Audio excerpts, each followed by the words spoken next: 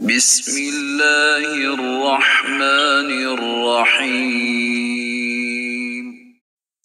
پھر جب وہ سب افراد خانہ یوسف علیہ السلام کے پاس آئے، تو یوسف علیہ السلام نے شہر سے باہر آ کر ہزارہ سواریوں، فوجیوں اور لوگوں کے ہمراہ شاہی جلوس کی صورت میں ان کا استقبال کیا اور اپنے ماں باپ کو تعظیماً اپنے قریب جگہ دی یا انہیں اپنے گلے سے لگا لیا۔ اور خوش آمدید کہتے ہوئے فرمایا، آپ مصر میں داخل ہو جائیں۔ اگر اللہ نے چاہا تو امن و عافیت کے ساتھ یہیں قیام کریں۔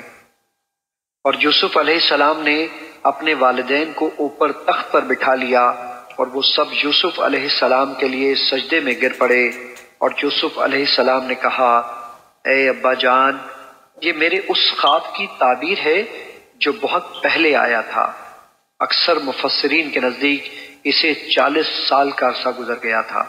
اور بے شک میرے رب نے اسے سچ کر دکھایا ہے اور بے شک اس نے مجھ پر بڑا احسان فرمایا جب مجھے جیل سے نکالا اور آپ سب کو صحرا سے یہاں لے آیا۔